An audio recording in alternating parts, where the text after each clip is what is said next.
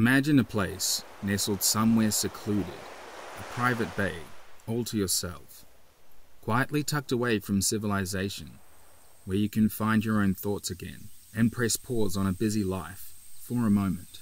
For many, the idea of glamping in a beautiful location can offer peace and tranquility to an otherwise hectic lifestyle. And for two breathtaking nights, we booked ourselves a stay at our own private bay glamping accommodation in the Marlborough Sounds of New Zealand. So come along and join us as we take you on a tour of our luxury glamping adventure and offer a review of our stay. Welcome to Kokowhai Glamping.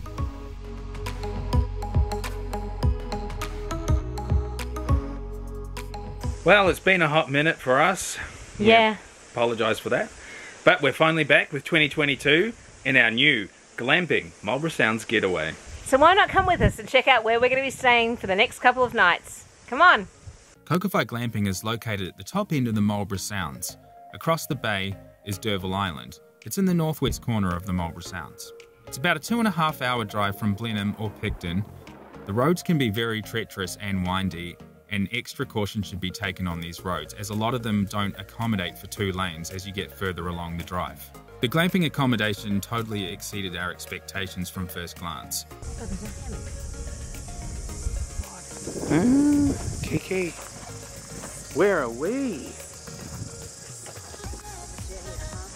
Oh my god. We couldn't believe our luck with how big the actual property was. It looked a lot smaller in the videos that we saw. It's actually a lot bigger in real life.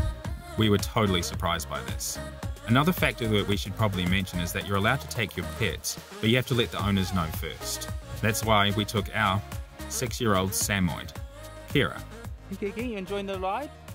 You enjoying the adventure? Yeah. So, welcome to our private little getaway in our private owned little bay here in the Marlborough Sounds at Kokowhai Glamping. And this place is pretty cool. You may have seen a previous episode where we did kind of what you could call glamping in a wine barrel cabin. If you haven't seen that video, we'll link it down in the description below. Anyway, without further ado, let's go check out this awesome, magnificent glamping tent. So welcome to Kokowhai Glamping. As you can see, we're in the lounge area at the moment. An amazing, really comfortable couch. I uh, might end up falling asleep here watching some TV later on tonight or playing a board game. The awesome lounge area. We have this amazing kitchenette area, so it's really cool. You've got everything you can need. You've got your sink, you've got a little bar fridge, we've got a kettle, all the utensils, everything that you actually could ever need for cooking. After we have eaten our food, or cooked our food, we then move into this amazing bedroom.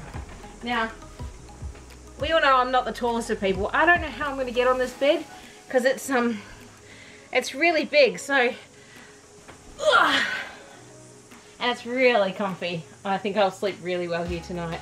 So, let's go check out what this glamping site has to offer in the way of utilities. First things first, we have an outdoor bath. Now, I want to say this is stone. No, it feels plastic. We have an outdoor bath. It looks pretty rustic. It suits the whole vibe of the area and it makes it feel really special. And I can't wait to have like an outdoor bath or outdoor rain head shower. Now that. That's the rain head. Oh, I didn't see that. I thought it was this. No, that's just a normal shower. Wow. Okay, so here's your rain head, kids. So we'll both be enjoying that a bit later on.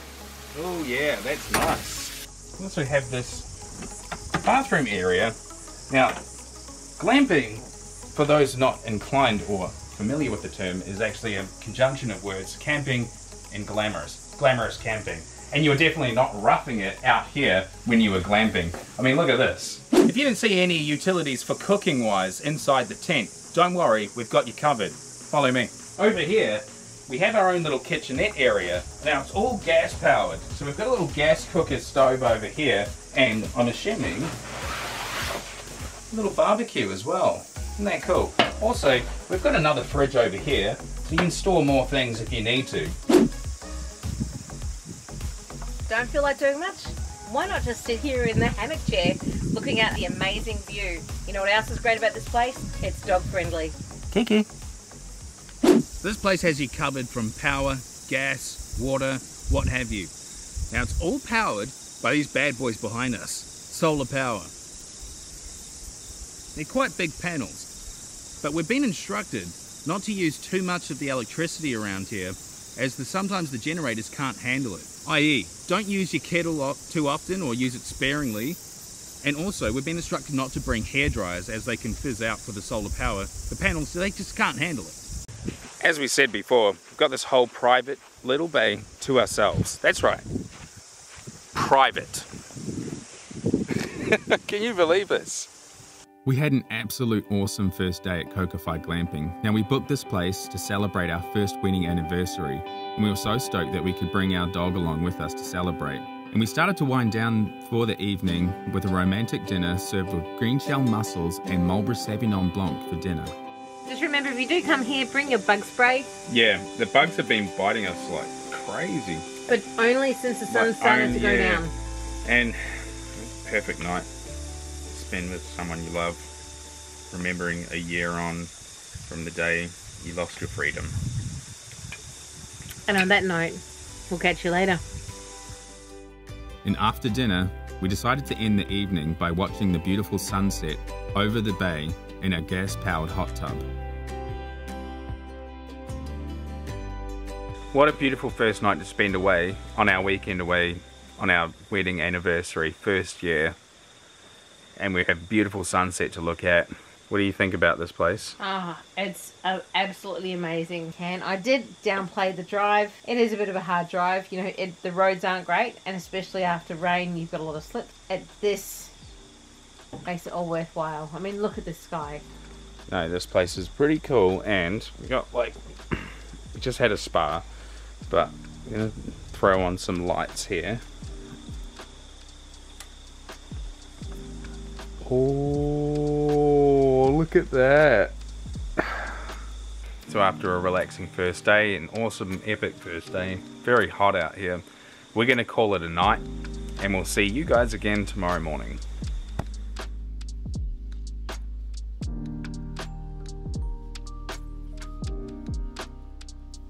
Good morning, honey. Morning. How was your first sleep here? Oh my god, it was amazing. It was absolutely stunning to wake up to that view. Was so good. Yeah. And let's go check out that view. This is what we got to wake up to this morning. OMG. On our second day, we decided to take a hike to see a waterfall that the owners had mentioned, ultimately taking the wrong track on the first go.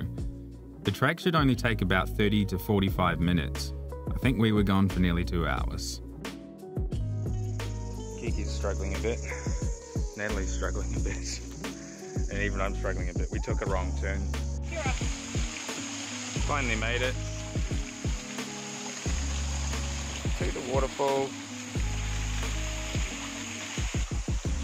Well, that's that's the waterfall.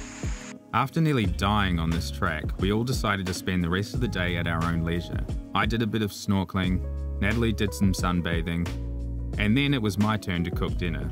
And we're having steak. kitchenette. End of day two, cooking up some T-bone steak on the barbecue that they got out here. Also, we got some cob corn over here. Come take a look at this.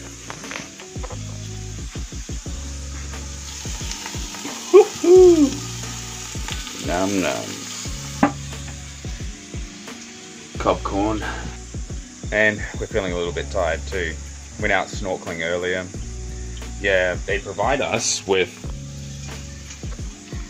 some snorkel gear down here as well. Like you got fins, uh, snorkel obviously. And they've also got kayaks and paddle boards as well.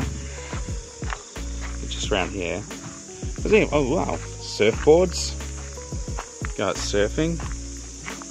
And just around here they've got life jackets, kayaks, paddle boards.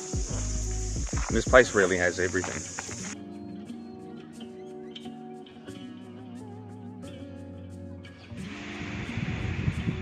She's asleep. Gorgeous lights. Ah. I think that being said, it's time to call it a night. See you guys all tomorrow. But before we do, what? What? What? Totally forgot to mention this last night. Isn't that pretty? Oh. Well, oh, okay. Definitely time to see you tomorrow. Too many wines.